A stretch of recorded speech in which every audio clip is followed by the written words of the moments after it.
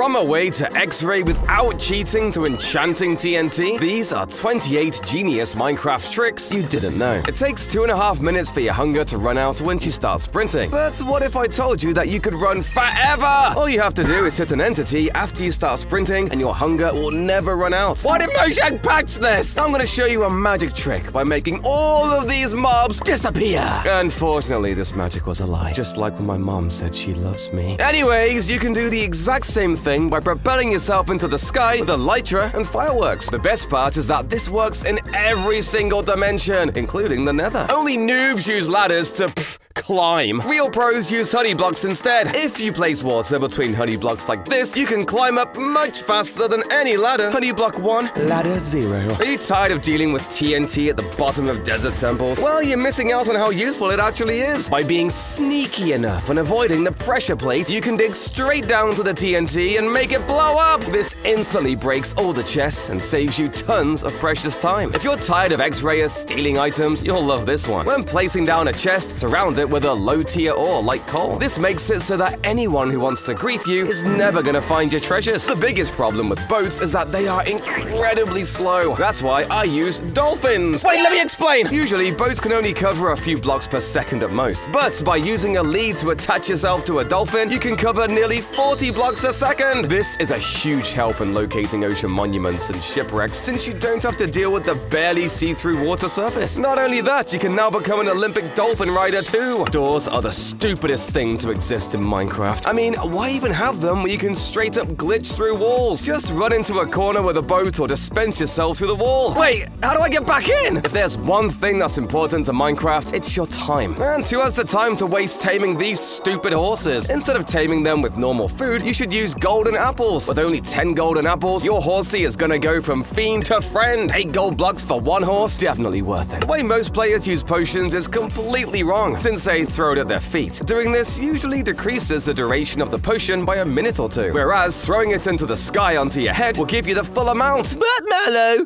when does this happen? Do I look like a coder to you? There are only 128 strongholds in an entire Minecraft seed, and if you dig block by block, you have a 1 in 23,420 chance of finding one. Yeah, that's insane. So, let's look at how to bypass this insane probability without using Eyes of Ender. All you have to do is trap yourself in a 1 by 1 hole and put a gravity block like gravel above your head. Pair this up with Optifine, and you'll be able to see for miles. Although, you might not want to do this trick with an anvil. You might have already known that lava is the best item to use for smelting, but with autocrafters, this trend is about to change very fast. With this insane contraption that Rays Works set up, it turns out that kelp is far superior to any other smelting item in the game. By using a flying machine, you can automatically harvest kelp and pass it through a smoker to turn it into dried kelp. The crafters can turn these into dried kelp blocks, with each block smelting 20 items. This is so overpowered! I love emeralds, but finding them is incredibly difficult. However, there is a way to get an infinite supply of them by literally using dirt. Turn three of these bad boys into mud by using water and use a dripstone to turn them into clay. Now you've found yourself an infinite money glitch when trading with the stone mason. Most players eat a steak even if their hunger bar goes down by a single point. Doing this is super dumb and can even get you killed. The correct way to eat is actually to start with foods that restore low amounts of hunger, like carrots, and then move on to items like meat. This is because every food item in the game has a saturation value, which is the time it will take to have a hunger bar reduced. By doing this, you will never go hungry again. There's actually a secret way to breathe underwater without using a helmet enchanted with respiration. Everyone knows by now that you can place a door on the bottom of the ocean to make an air bubble. But if you only have blocks on you, one of the easiest options is to place a few like this, and then place a piece of sand in the middle, giving you an air bubble to breathe in. The other option is to build a conduit. That's gonna make you go bankrupt. Another massive mistake that many players make is mining obsidian directly after pouring water on lava. While it's easy to avoid, most die because of this. But I've got just a solution for you. Next time, pour water on a nearby block to solidify the new layer of lava. It's that simple. There's only one thing that's harder than bedrock boats. By placing boats under mobs, you can immobilize them completely. They become completely docile and will look at you even if you try to murder them. Who knew an Enderman's worst enemy was some wood? However, this isn't even the best part. If you trap a creeper and sit inside the boat, you will take a total of zero damage. How is this even allowed? For years, people have been using clutches like the water bucket and holding down certain movement keys. But there's a much more overpowered way of doing this by using powdered snow. This is much better than water. Which will usually waterlog leaves. However, not only that, you can climb upwards by wearing leather boots. So even if you have two snow blocks, they're enough to get you out of any hole. Do you want to hide items from your friends? Easiest method to do so by far is to attach hoppers to grass paths. Once items drop onto these, they will disappear completely. Wait, so this is where villagers hide all their loot? Zombified piglins are the most annoying mob to deal with in the game, mainly because you get an army of them chasing you even if you hit one accidentally. The fix for this is surprisingly easy though.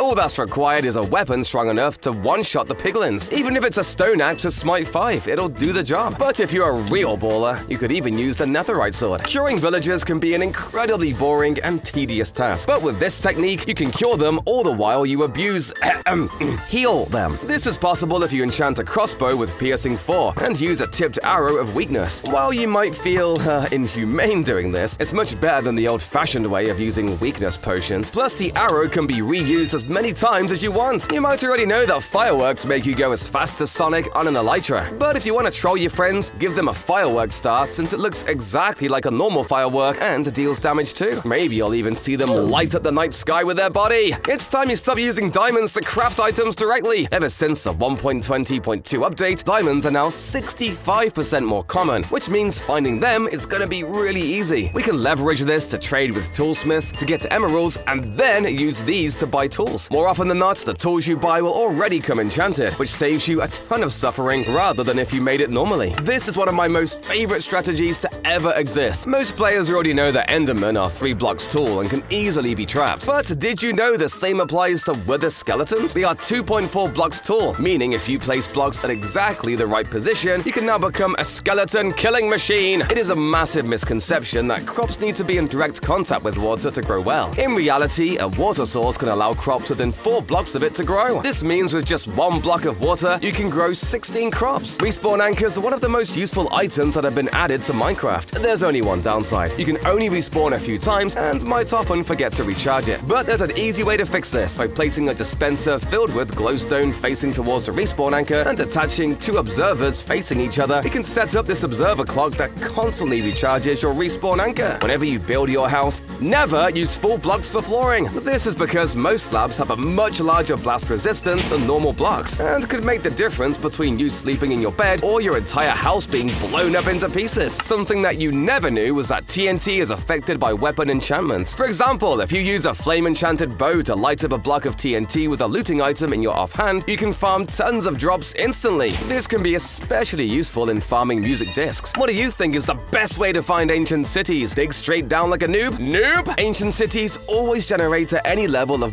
minus 52 and are most likely to be found under a mountain. All the armor trims are mine! Wait, no. Ah! Subscribe before he gets me!